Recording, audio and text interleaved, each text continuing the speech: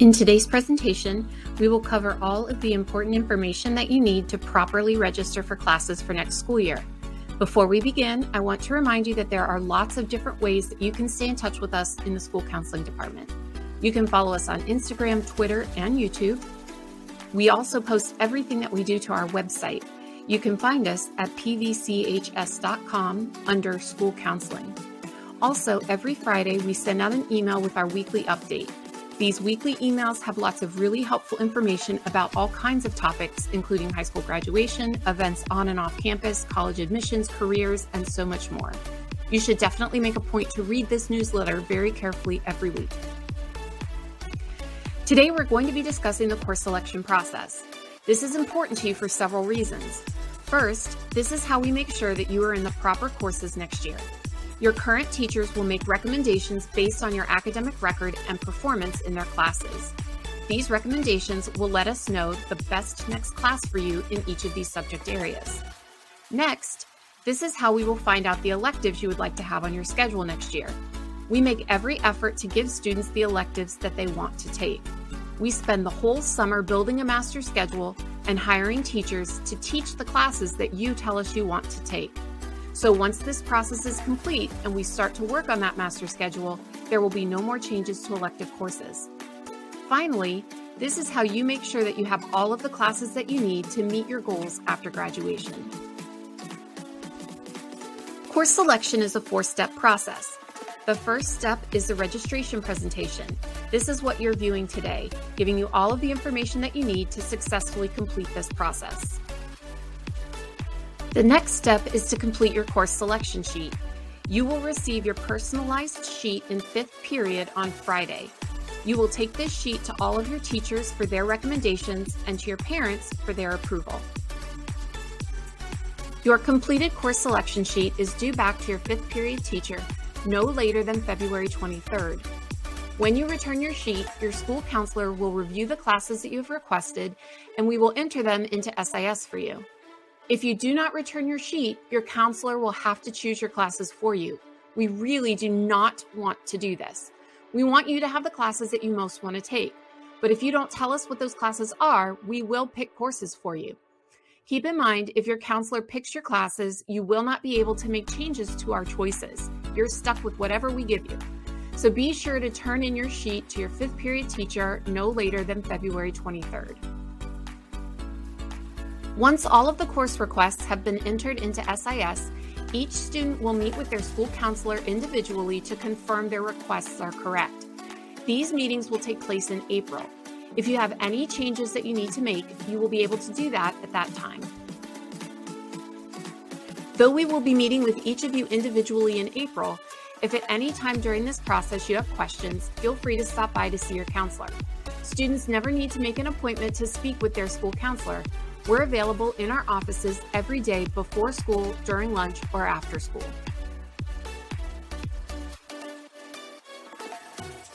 So let's look at the materials that you'll need in order to complete this process. First, you'll need your course selection sheet. Again, this will be passed out to you by your fifth period teacher on Friday. Some classes will have prerequisites, which is a class that's required as a prior condition for you to take the next course. You might need to check your transcript to be sure that you have taken the prerequisite.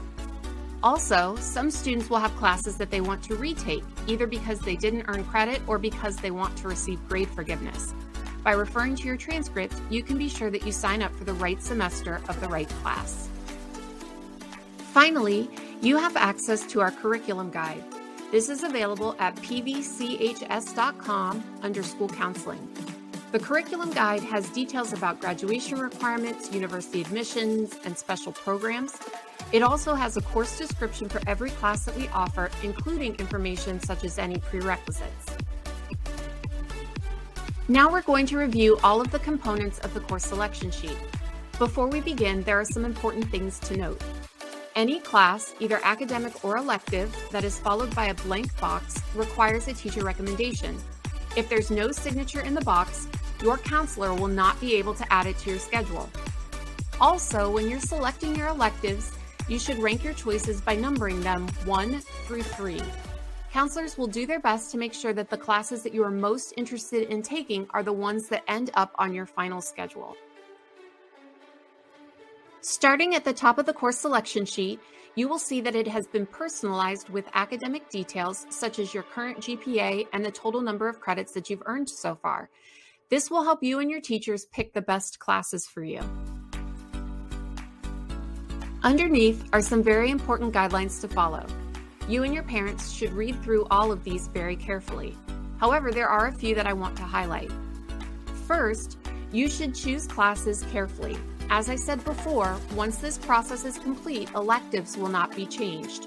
You will not be able to make schedule changes for elective classes next year. Next, failure to return your selection sheet by the deadline will result in courses being selected for you by your counselor. No changes will be permitted to these selections. Finally, any class that has a dollar symbol next to it is a class that will request a supply donation at the beginning of the year. If this is something that would keep you from wanting to take the class, you should choose a different one instead. Underneath the guidelines, there is a place for you and your parents to sign.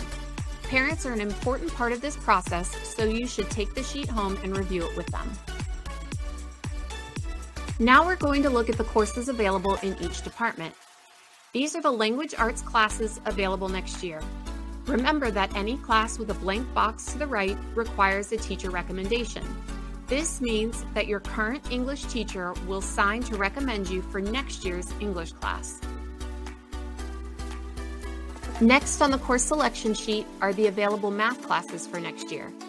Your current math teacher will recommend the next class that best fits your math skills. Here are the available science classes. Again, your current science teacher will make a recommendation for you. Many science classes have pre or co-requisites. For example, in order to take regular level chemistry next year, you must have finished geometry by the end of this year. In order to take honors level chemistry next year, you must have already taken Algebra 2 honors or be registered for Algebra 2 honors next year. Next are the classes available in our Social Studies department. The core Social Studies classes required for graduation need a recommendation from your current Social Studies teacher. However, there are several Social Studies electives that do not. These classes are Psychology, Law Studies and Personal Financial Literacy, African and African American History, sociology, and Holocaust history. Any students can choose to take any of these classes. Keep in mind, academic electives such as these are a great choice for college-bound students. Here you see the classes available in our foreign language department. Foreign language is not a high school graduation requirement. However, two years of foreign language is required to be eligible for admission to a four-year university and for some scholarships such as Bright Futures. If you haven't completed two years yet, we strongly encourage you to do so. Next, we have a section of the course selection sheet with our AP and AICE classes. These courses require an application which we will discuss later in the presentation. If you apply and receive notification that you have been accepted to an AP or AICE class, you will need to see the teacher of that class for their signature. This is not your current teacher. In the left column here, you will find the AP or AICE teacher's room number. In the right column is the teacher's name. If you're in our CAP program, you have a section of the course selection sheet specific to your curriculum path. This is where your CAP teachers will sign. On the back of the course selection sheet, you will find our elective and academy classes. Here you see our multimedia and business classes. Any student can take an entry-level course in this department. If you're interested in taking an upper-level class, you will need your current teacher's recommendation. We offer an SAT-ACT prep class for rising 10th and 11th graders. In this course, you will spend one semester with a math teacher and one with an English teacher preparing for these college entrance exams. Note the prerequisite Rising 10th graders must have earned a level 3, 4, or 5 on the 9th grade FSA ELA, and Rising 11th must have passed the 10th grade FSA ELA. If you are still working on passing the FSA graduation requirement, we want you to focus on that test first before turning your attention to these other exams. Here you see electives available in the Language Arts department. In Journalism 1, you will spend one semester learning to write for the newspaper and one learning about the yearbook. After this class, you can apply for upper level journalism, which would allow you to serve on either the newspaper or the yearbook staffs. We also have a debate team. Note that the debate classes require attendance at Saturday competitions. See Mr. Bales for more information about our debate program. In our Fine Arts department, entry level courses do not require recommendation. However, upper level art classes require the current art teacher's signature. We have three classes in this department. 2D art is drawing and painting. 3D art is sculptures, origami type paper art, mosaics, etc. And ceramics is working with clay. In the performing arts, Theater 1, Beginning Chorus, Beginning Band, and Keyboard 1, or Beginning Piano, are open to all students and do not require signatures. Your current theater or music teacher will make a recommendation if you're interested in upper level classes. The PE graduation requirement is one semester of personal fitness and one semester of a PE elective. Students who haven't met this requirement yet can add it to their schedule next year. Students who have met the graduation requirement but would like to have PE again can choose the class as one of their electives. No recommendations are required for our PE classes. All Park Vista students can take the entry-level courses in our Auto Academy. We have two classes available in this department. Auto maintenance and light repair is the inside of the car, things like brakes, engine repair, etc. Auto collision is the outside of the car, painting, welding, dent repair, and so on. Interested ninth graders are able to apply for either of the Auto Academies or the Medical Academy Applications can be found on the school district website and must be submitted by this Friday, January 28th. Rising juniors and seniors with at least a 3.0 GPA can sign up to be a student aide next year. Student aides work with a teacher or help out in one of our offices. There is no grade or credit awarded for this class. However, you will receive 75 hours of community service for each semester that you're an aide. Students taking dual enrollment courses can choose to take a period off in their Park Vista schedule. If that's your plan, you will indicate it on your course selection sheet here. To be eligible for dual enrollment, you must have at least a 3.0 GPA and college-ready test scores on the SAT, ACT, or PERT. Except for the classes offered to our Medical Academy students, all dual enrollment classes take place on the college campus. It's important to note that dual enrollment courses become a permanent part of your college transcript and can impact college admissions and financial aid eligibility. So the decision to take these classes should be made very carefully. If you're interested in taking dual enrollment either during the summer or fall of 2022, you should attend our dual enrollment student assembly. This assembly will be held on February 8th and should be attended by both new and returning dual enrollment students. To sign up for the assembly, click on the link in our weekly update emailed out every Friday. Rising juniors and seniors requesting to have a no class next year must have their parents sign the course selection sheet. If your parent does not sign to give their approval, your school counselor will not be able to add a no class to your course requests. Note the requirements to be eligible for a no class. A rising junior must have a 2.0 GPA and at least 14 credits by the end of sophomore year in order to have a no 7. A rising senior must have a 2.0 GPA and 19 credits by the end of junior year to have a no 7. You must have 20 credits by the end of junior year to have a no 6. It's extremely important to remember that having classes off in your schedule makes you less competitive in the college application process. For each no class, that is one less rigorous academic course that you will have on your final transcript. Students choosing to take an FLVS class in place of a Park Vista class have two options. You can choose to work on your class in one of our on-campus labs. You can also choose to have a period off in your schedule to work on the class at home. Either choice requires the name of the class that you will be taking and a parent's signature to approve. Please note that we do not recommend virtual courses on or off our campus to replace courses that are taught at Park Vista or just to get a period off. Virtual online courses are very rigorous, have strict pacing guidelines, and Park Vista has no control over when you will get into the course or when you will complete the course. Students selecting to substitute a class period for an FLVS course are expected to complete a semester of FLVS credit for each substituted semester by the conclusion of the semester. Failure to complete FLVS credits substituted for a class period on campus within a timely manner may result in future FLVS periods being limited or rescinded. We have found that many students who choose to drop Park Vista classes for FLVS classes fail to complete their online coursework. This ultimately leads to them being behind in graduation requirements. So again, we do not recommend this option for students. Now we're going to look at your graduation requirements in more detail. In order to earn your high school diploma, you must complete 24 credits, earning a 2.0 GPA or a C average overall. You must pass the 10th grade FSA ELA and the Algebra 1 EOC.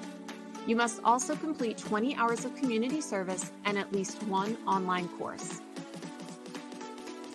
Listed here are the specific 24 credits required to earn your high school diploma. You can find this list online in our curriculum guide. Remember, foreign language is not a high school graduation requirement. However, two credits of the same foreign language are required to enter the state university system and to earn the medallion and scholars level of the Bright Future Scholarship Program. We encourage all 9th and 10th graders to take both the FSA and their EOCs very seriously. Performance on your FSA ELA this year will determine whether you will be required to take intensive reading next year. In addition, you will need FSA and EOC scores of 4 or 5 to be able to enroll in many of our honors, AP, or AICE courses. 11th graders should take the school day SAT in March very seriously. Students who haven't passed the FSA ELA can use this test to earn a concordance score for graduation. This is also a free opportunity to take the SAT for college admissions. Finally, you can use this administration to earn college ready test scores for special programs such as dual enrollment.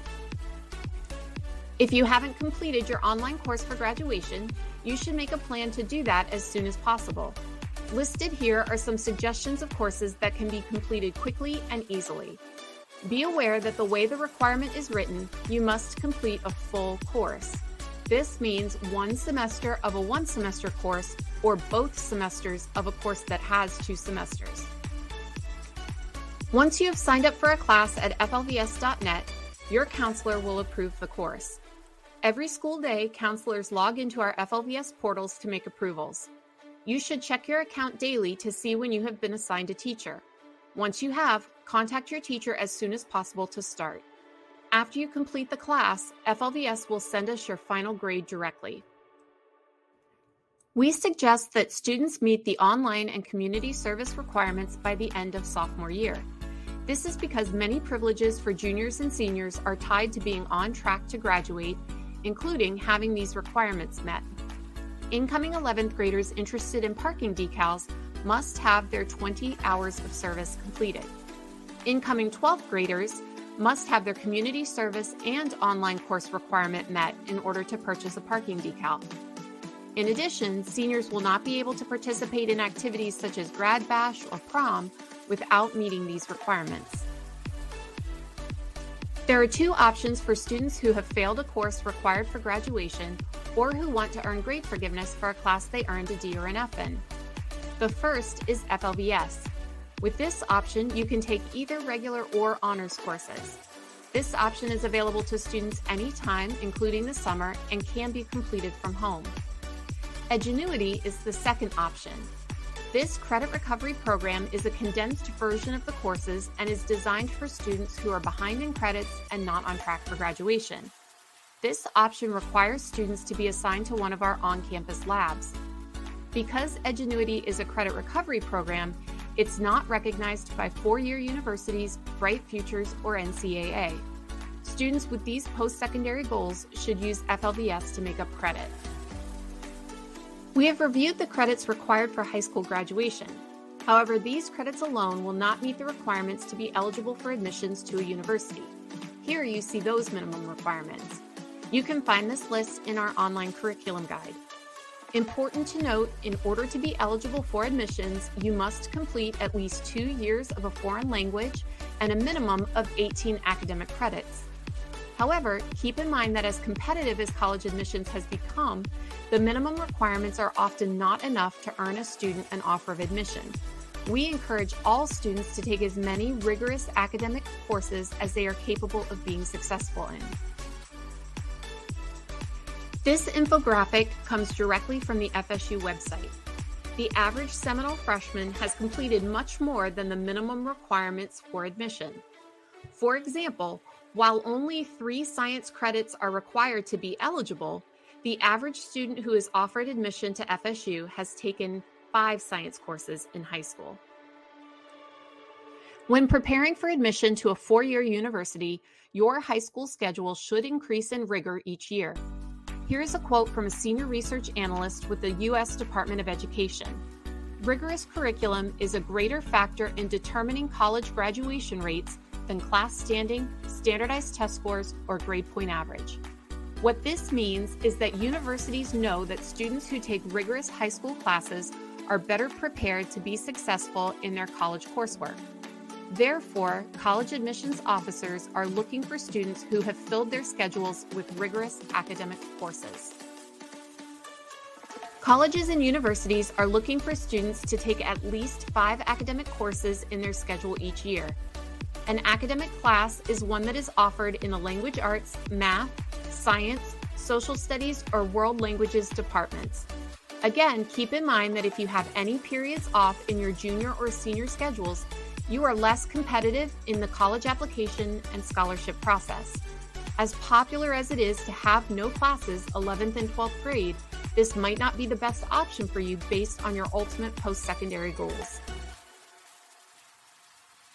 Students and parents interested in AP, AICE, or dual enrollment classes next year should attend our presentation tomorrow, Thursday, January 27th at 6 p.m. Our program will begin in the auditorium with an overview of all three of these acceleration programs and details about the application process. After this, we will have a showcase of courses where students and parents can meet with teachers of specific classes to get more information about the course curriculum and requirements. All students at Park Vista can work toward earning an AICE diploma.